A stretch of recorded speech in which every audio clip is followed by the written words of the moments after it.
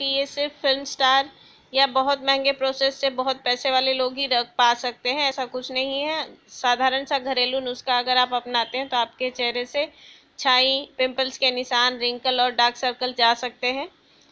अगर वीडियो पसंद आए तो लाइक शेयर सब्सक्राइब करना बिल्कुल ना भूलें, ये बिल्कुल फ्री है। सब्सक्राइब, लाल कलर का बटन है, अगर आप पहली बार देख रहे हैं तो उसे ज़रूर दबाएँ। साथ ही साथ घंटे का आइकन आएगा, उसे भी दबाइए ताकि अगले वीडियो का नोटिफिकेशन आपको मिल सके।